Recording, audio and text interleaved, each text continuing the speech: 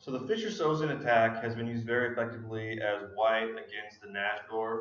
As you can tell from the name Fischer-Sozin, it was played by Fischer, also by a grandmaster named Sozin, but they popularized a opening that was played in the 1930s by another grandmaster. So it wasn't really popular, it wasn't used all that much until Fischer brought it back in the 70s and used it with great effect. And so the key move order that turns it into the Fischer-Sozin is that on the sixth move, white plays the bishop out to c4 immediately. That makes it so the b5 move can't be played and stopping stopping the bishop from, from moving out. Instead of playing f3 and going into the regular Yugoslav attack or English attack patterns, we're going to be playing against f7.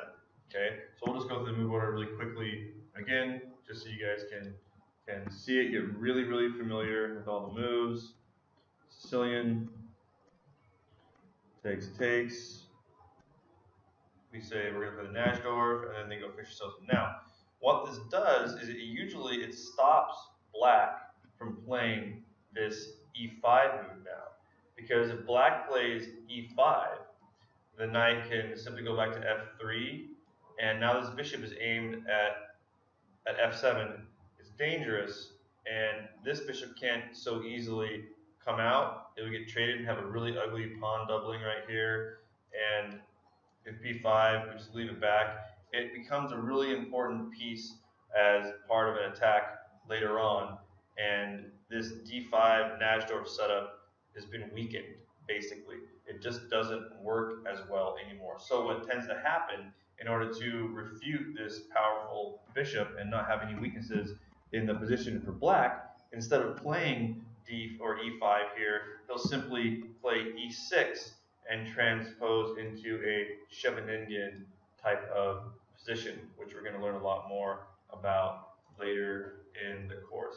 And the Scheveningen is a really solid setup that has become less popular due to a couple of certain uh, attacking lines by white that if your opponent knows really well can be very dangerous. And of course at the Grandmaster level, they all know all the themes and popular attacking lines against each defense. So what they're doing at the Grandmaster level, since they're also good at calculating and they're also well read, is they're doing a lot of strategic decisions about which opening lines to play against which opponents, how to employ them. There's a lot of psychology going on there. Like when Bobby Fischer famously opened a game with the English opening, which he had never played before in his whole career as a chess player in serious competition, but of course, which he knew very well because he was a great grandmaster and studied all different types of chess positions. And so he used that against Grandmaster Spassky in the World Championship match, and it surprised Spassky because Fischer always opened with e4. Fischer once famously said e4 is best by test. It's the best opening. He didn't believe in playing a lot of d4 openings back in the day. And so Spassky wasn't as prepared to play uh, against Fischer in an English opening where the first move is white plays pawn c4. And Fischer played a really amazing game and defeated Spassky in decisive fashion. And Spassky even stood up and clapped because it was such an impressive display of positional chess. But the psychological impact of Fischer playing an opening that Spassky wasn't ready for, not that he didn't know it, Spassky had played that type of a position probably thousands of times against other grandmasters, but he wasn't prepared to play position against Fischer. And so it surprised him, and uh, who knows how much of a psychological impact it had, but it was one, one of the famous games from that World Championship match. Okay, so we, we basically, as black, if they play the Fischer-Sozin, instead of playing the e5 move, we transpose into a Scheveningen. Now in the Scheveningen, you may or may not play a6. So basically what we have is a Scheveningen where a6 has been played. So this happens a lot when you're playing the Najdorf. And again, that's one of the, the reasons that Najdorf is popular. It's very flexible. I mean, you can even transpose into a dragon for the Najdorf. There's, not, there's no really point in playing a6 first if you plan to play the, the dragon. But depending on what your opponent does, if you decide that you want to, you can. Or maybe you want to play a6 first, so your, your opponent starts to set up like they're going to play against the Najdorf, and then we play the dragon instead. So there's lots of things you can do out of the Najdorf basic position. So in this case, once we play e6, now if white wants to go into their regular English attack setup, we simply set up in a very solid way here. We can knock this bishop back to b7, and we can we can either put our bishop on d7 and continue to defend this, or we can fianchetto it on uh, b7. But it's usually a good idea to simply defend this pawn right here, and you're going to have a very defensive setup. Now, white still may go into the English attack here and do the same things that we've been seeing, but it's not as effective. It's similar to the Najdorf, only now instead of this pawn being on e5, it's on e5 or on, on e6, excuse me. And so what this also allows us to do, it allows us to put our queen on d or c7 right here and defend from any pawn push that would open the board on e5. Notice that you can't play e5. We've got one, two, three pieces defending it.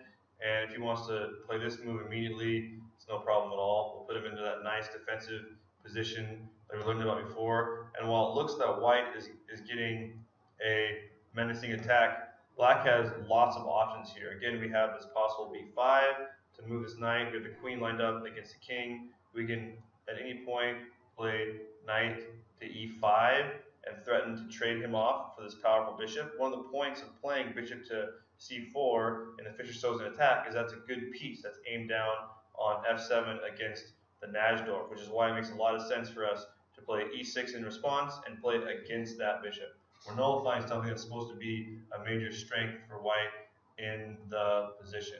Now, while this white knight is defending f3, it can't move. It has to continue to defend him, okay? And if he wants to push this pawn down, it's fine. We'll go ahead and basically force this this bishop to be traded. If he doesn't want to trade the white bishop and he just moves his queen, we can't move there because then we just take the bishop. He moves the queen over here.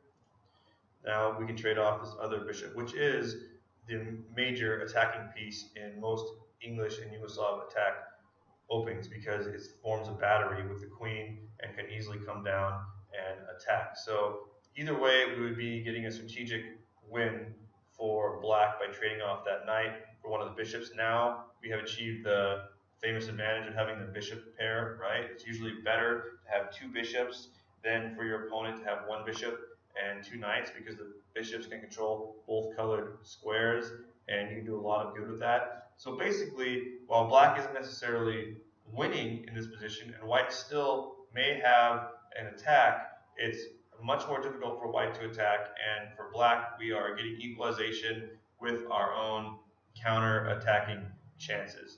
Now, let's say we want to knock this knight back. If he moves over here to h3, we can trade it off, or we can just leave him there. That's fine. Doesn't really matter. We have the option of trading him. We can set up our pieces across from the king, and we have a good game here. He, he may continue to come down, and at this point, you'll just do a lot of calculating to see uh, if the threat is real, what can we do to counterattack? Look at all these different move orders and, and options and just see what it is we can do. We might want to just open up the center at this point and trade just depending on our calculations and what can happen. Okay, so we can even we can threaten this knight now because we got two pieces attacking it. He'll have to move it somewhere. He's got nowhere to go. So it looks like his knight is trapped in the situation actually. So we would have want to calculate that. So he can't go here, can't go here, we can take it, can't go back. So his knight would be trapped in the situation because our bishop can now take it. We would win a piece. Okay? So he would have hopefully calculated that because we're, we're, assuming we're playing against good chess players. So he would have to put his knight back here into a rough spot on the H file. Maybe he would just reroute it over here, but we would have gained time, and now we can push our pawns and attack this bishop. See? So now black has nice counterattacking chances on our own. If he wants to take another move to go over here, we can basically force this bishop to be traded off. Actually, in this case, it would be trapped. See? And so that he's going to have to move one of these pawns in order to save his bishop, basically. So he'll do something like this.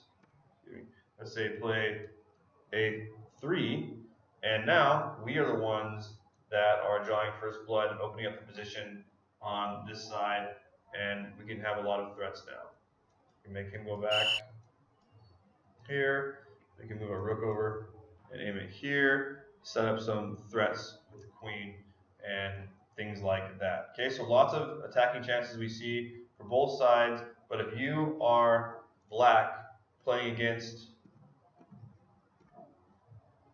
white in the Najdorf, and they play the Fischer-Sozin attack, you generally do not want to go ahead and continue with e5, okay? You want to play e6, and you want to transpose into a really solid Scheveningen. This is this is basically start as a Najdorf, transposed into a Scheveningen, which is what you have when you have your pawns on d6 and on e6. And then with this pawn on a6, it restrains all their pieces, as we've seen in multiple different scenarios now. It allows for b5. It allows for very harmonious queenside expansion. And again, when you play the Sicilian defense, in almost all of the endgame scenarios that you will end up in, if you don't mess your pawn structure up too much, you will have an advantage in the endgame because your pawn structure is usually better. White gets an early attacking chance typically, and if you can defend it, you get counterattacking chances, and or you will have a good endgame when all the pieces are traded off. And so never be afraid to trade off the pieces and go into an endgame when you're a Sicilian defense player. You'll get a lot of winning endgame positions, and you just got to be prepared for their pawn storm to, to come down and know how to defend it. Don't freak out. Trade off some pieces and get your own momentum going on the queen side. This is a really typical example of something that you might see. And as always, make sure you're calculating deeply between each move. In chess, we don't want to make any assumptions, right? We don't assume our opponent's going to play the move that we think they're going to play. We have to calculate and make sure that we're playing forcing chess. Only moves that are forcing. And look at your opponent's best moves. Always try to find your opponent's absolute best moves against you. This is one of the biggest weaknesses of lower level players is that you're looking for what you can do and you're not fully looking for what your opponent can do to you because it's not as fun to calculate all of your opponent's moves and play defense. But if you want to be a strong chess player, you have to do that. Look for their strongest moves just as actively as you would look for your strongest attacking moves, and then you will be playing forcing chess and you will become a much stronger chess player.